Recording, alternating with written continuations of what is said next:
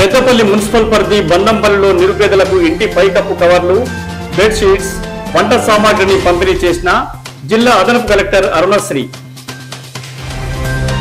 పెద్దపల్లి పట్టణంలో అంగరంగ వైభవంగా శ్రీ కట్టమైసమ్మ తల్లి బోనాల వేడుకలు అమ్మవారి ఆశీస్సులతో ప్రజలంతా సుఖ సంతోషాలతో ఉండాలన్న మున్సిపల్ చైర్పర్సన్ డాక్టర్ మమతారెడ్డి.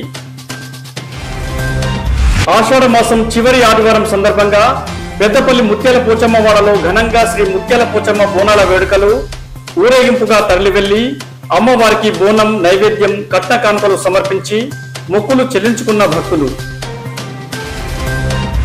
పెద్దపల్లిలో సిపిఎం ఆధ్వర్యంలో నిర్వహించనున్న సింగరేణి పరిరక్షణ బస్సు యాత్ర వాల్ పోస్టర్ల ఆవిష్కరణ వామపక్ష కార్మిక సంఘాలు ప్రజలు అధిక సంఖ్యలో పాల్గొని బస్సు యాత్రను జయప్రదం చేయాలని సిపిఎం జిల్లా కార్యదర్శి వర్గ సభ్యులు ఎరవెల్లి ముత్యంరావు విజ్ఞప్తి. పెద్దపల్లిలో కథ రచయిత కాలువ మల్లయ్య పుట్టినరోజు పండుగ పుస్తకాన్ని ఆవిష్కరించిన అదనపు కలెక్టర్ జీవి శ్యాంప్రసాద్ లాల్. గత పది రోజులుగా కురుస్తున్న వర్షాలతో కొత్తపల్లి గ్రామ శివార్లోని లో లెవెల్ కల్వర్టుపై నుంచి ప్రవహిస్తున్న వరద నీరు ఎవరూ వెళ్ళకుండా లో లెవెల్ కల్వర్టు వద్ద ముళ్ళ కంచె ఏర్పాటు చేయించిన ఎంపీడీఓ ఎంపీఓ